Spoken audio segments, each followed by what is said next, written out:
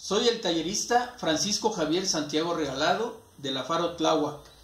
Imparto el taller de papel hecho a mano con fibras naturales y encuadernación. Gerardo Pérez Muñoz, activista e integrante de la Asamblea Social del Agua. Trabajó en la Unidad Regional de Culturas Populares.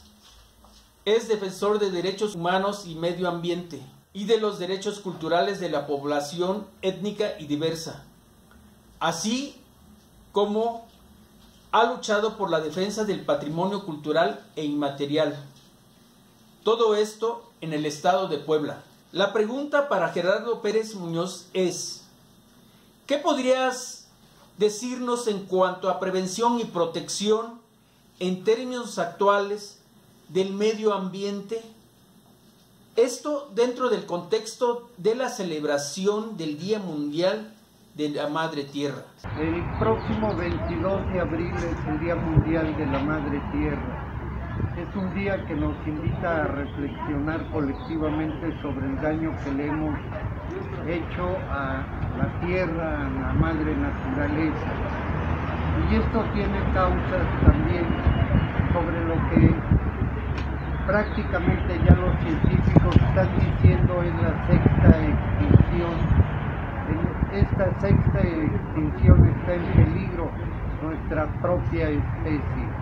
Hay que leer el informe de Planeta Vivo 2020, en donde ellos muestran cómo de 1970 a la fecha han desaparecido más del 68% de eh, mamíferos como vemos que hay la, cada vez avanza la desertificación, el deshielo de los casquetes polares, la acidificación en los océanos, el cúmulo de basura que todos los días se tiran y esto nos está llevando a una crisis humanitaria. Es por ello que hacemos un llamado urgente para detener esta crisis civilizatoria y revalorar la madre tierra, no solo un día, sino todos los días del año. La Socamati mía, muchas gracias. Yo lo chicagualistri, que su corazón se fortalezca y recordar que sin justicia ambiental no puede haber justicia social.